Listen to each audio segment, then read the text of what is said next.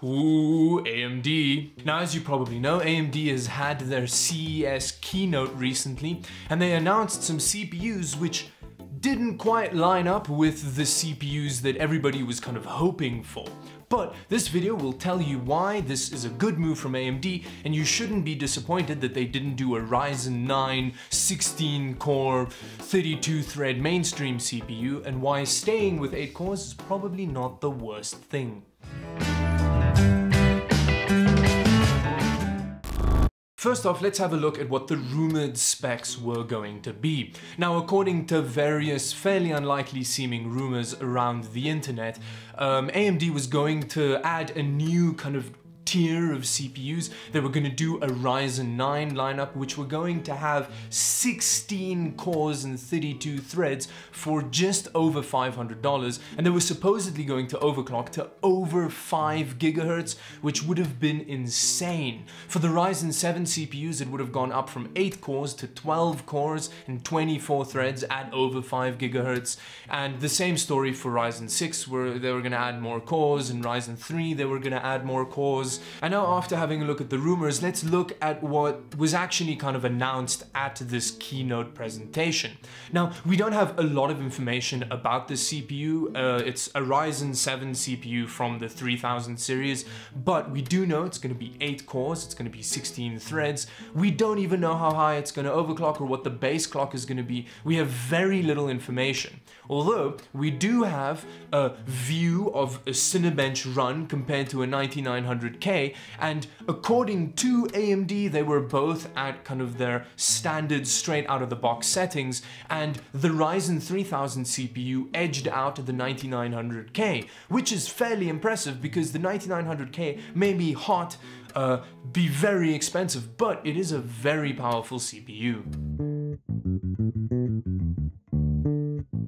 Now the first reason is that one of the main changes is it's going down from 14 nanometers to 7 nanometers. Now this die shrink does mean that the CPU would use less power, which would mean you could theoretically put more cores in the same package uh, with the same power consumption, uh, and you could also clock it higher and so on. But one die shrink would not necessarily be able to take an 8-core CPU that can clock to 4.3 gigahertz to an architecture that can do 12 cores at over 5 gigahertz or 16 cores at over 5 gigahertz. It just didn't seem particularly realistic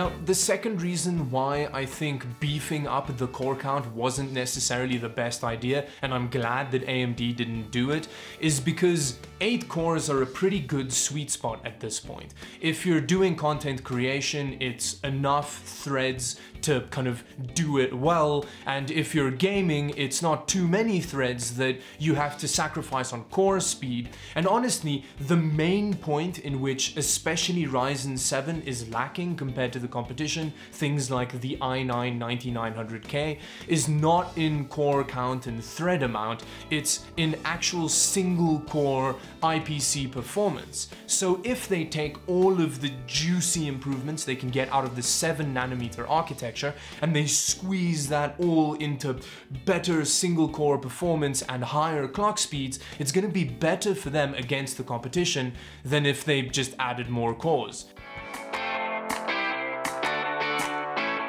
And reason number three, honestly, at this point, even Ryzen 2 is fairly competitive against the Intel CPUs that exist, especially from a value perspective.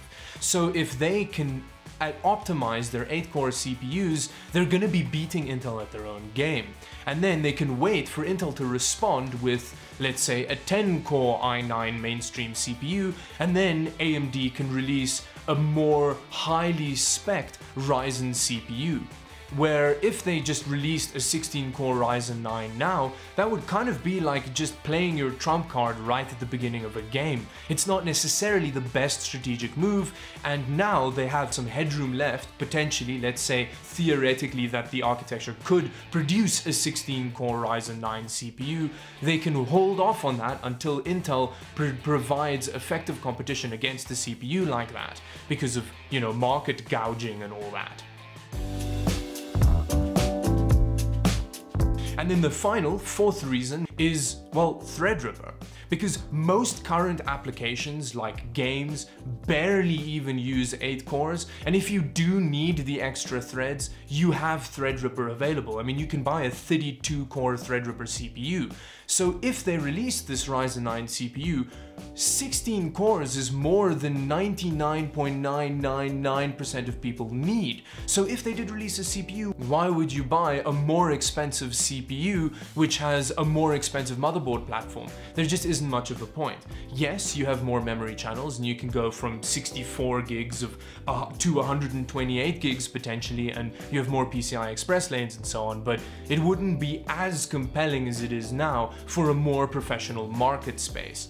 And with that, I kind of think that's all I have to say about that topic. Let me know in the comment section below what you felt about the news that came out of the AMD presentation. Uh, there's obviously an Intel presentation happened, but you know, they didn't really announce anything other than the fact that they're gonna take out things of their CPUs, which is a bit of a brave move, I guess, but you know, the same thing goes for Nvidia's keynote. Let me know in the comment section below actually what you think of the new Radeon CPU. Now, it seems like it's focused more towards content creators, but if it performs the same as an RTX 2080, it's a very compelling option for people who game at 4K on a single graphics card. Anyway, with that, thank you very much for watching. Like the video if you liked it and subscribe to the channel for more videos like this one. And if you didn't like it, dislike it, but tell me in the comment section below why you disliked it. And until the next video, bye bye.